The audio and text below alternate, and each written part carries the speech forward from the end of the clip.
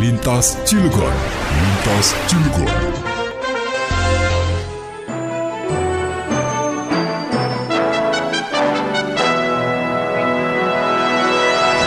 Mandiri guna memutus dan mencegah penularan virus corona, DPD LDI Kota Cilegon menggelar vaksinasi COVID-19.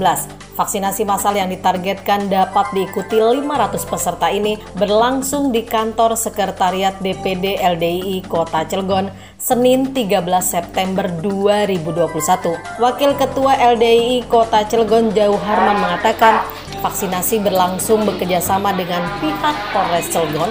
Peserta yang divaksin sebelumnya telah mengisi formulir pendaftaran sehingga kuota yang tersedia sesuai dengan jumlah peserta vaksinasi massal pada pagi hari ini Senin 13 September ini ini terselenggara atas kerjasama DPD LDII Kota Cilegon dengan Polres Kota Cilegon yang dalam pelaksanaannya diawasi langsung dari Polsek Kecamatan Cilegon.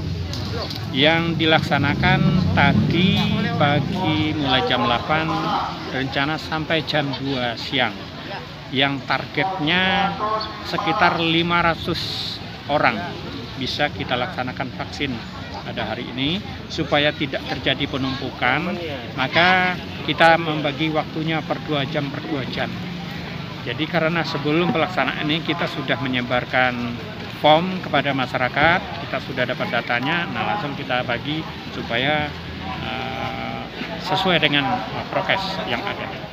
Saat ini kita melaksanakan tahap satu. Nah, untuk yang tahap selanjutnya atau tahap kedua nanti kita masih memerlukan koordinasi dengan Polres lagi nanti kapan bisanya. Untuk jenis vaksin yang digunakan saat ini adalah Sinovac. Sinovac. Kalau secara umum Sinovac itu antara lebih kurang sekitar empat minggu. Harapannya terhadap teman-teman masyarakat yang sudah melaksanakan vaksin ini di dalam pelaksanaan kesehariannya tetap menjaga prokes protokol kesehatannya sehingganya supaya uh, di dalam uh, kesehariannya badannya bisa jadi sehat sehingganya apa namanya produktivitas hidupnya itu makin bagus. Bagi teman-teman di masyarakat yang belum bisa melaksanakan vaksin, kita punya harapan ke depannya uh, bisa melaksanakan vaksin sesuai dengan himbauan pemerintah.